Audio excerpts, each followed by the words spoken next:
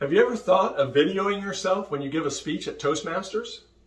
Did you know that in just about every sport, athletes will watch videos of themselves playing in order to improve their performance? Whether it's golf, basketball, football, or tennis, athletes can learn a lot from recording and watching themselves.